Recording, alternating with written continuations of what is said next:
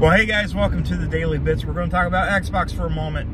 Uh, we're going to talk about video games. I know it's not your guys' favorite thing, but it's my favorite thing. Well, one of my favorite things. I'm going to talk about Xbox for a moment. So, there's been a new release on Game Pass. It's a Microsoft exclusive called Redfall, uh, made by the awesome guys over Arcane Arkane is pretty safe usually for uh, AAA exclusives like Dishonored, Prey, uh, Deathloop, stuff like that. Um, they even did okay with the Wolfenstein game they did. It was Youngbloods. It, it, it was okay. It was okay. It wasn't the best, but, you know, it wasn't terrible. Anyways, they came out with Redfall, which I have not played yet. But I have seen the reviews. I've seen people saying, oh, this is the end of Xbox. This is the worst day the Xbox has ever had. Uh, Phil Spencer should step down. Uh, it's terrible, terrible. And, you know, they released a bad game. They did. They really it was a shitty game, apparently. Uh, I'm not going to play it until at least they patch it up and make it playable. But it does look bad. It does look bad, especially right now since the month of May.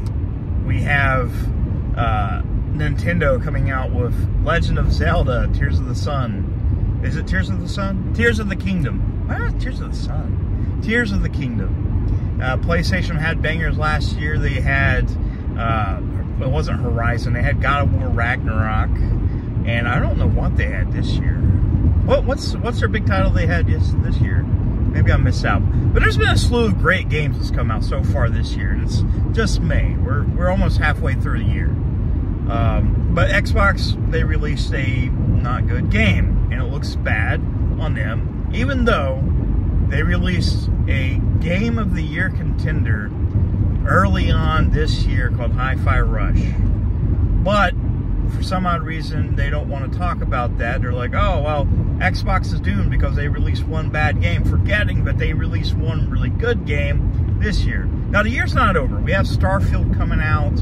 And this isn't me trying to be an Xbox fanboy. Uh, I own all the systems. I have PlayStation, I have the Switch, I have this PC, I have all the classic machines. I have a Wii U, PlayStation 3, uh, all these classic machines. I'm a gamer. I love games. I love every every console. That's just the way it is. But anyways, as far as we know right now, the only big game coming out for the Xbox that's not been shown yet. Uh, there's always a chance that things will be shown on this June's uh, showcase. But Starfield.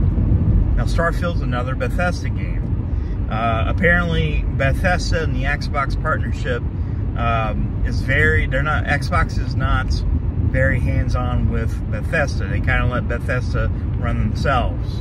Kind of similar to how Blizzard did when Activision bought them. Um, everybody's kind of looking to Starfield is, is, is this going to be great?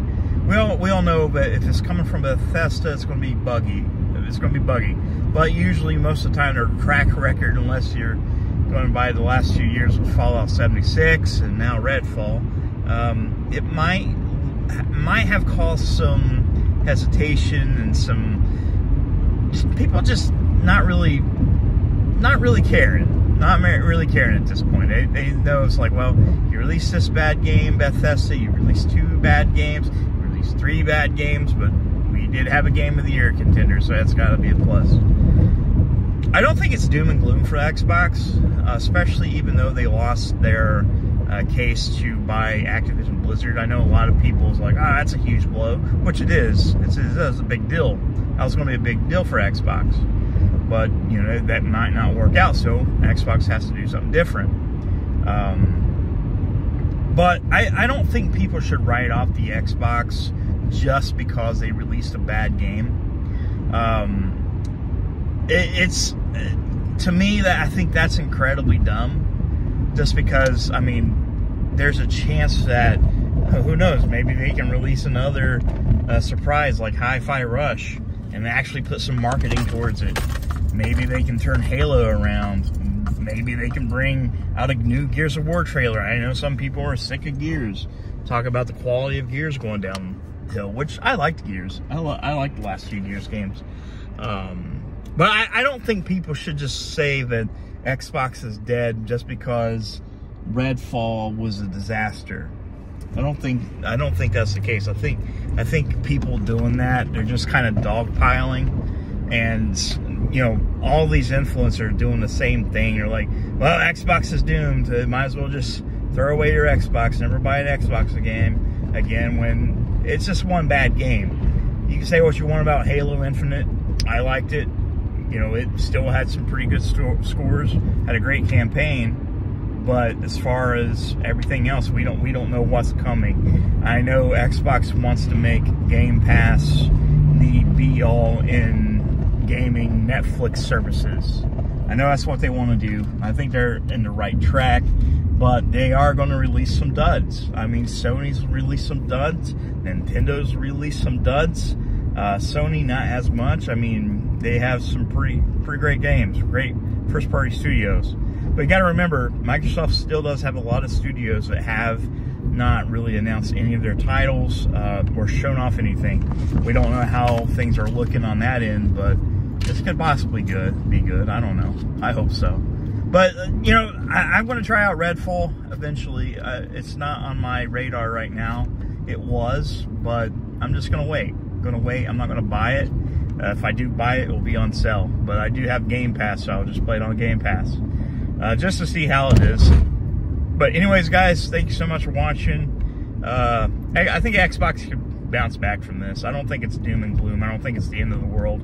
Just another bad game. It's just hard to really say who's to blame for it. But anyways, love you guys very much, and I'll see you soon.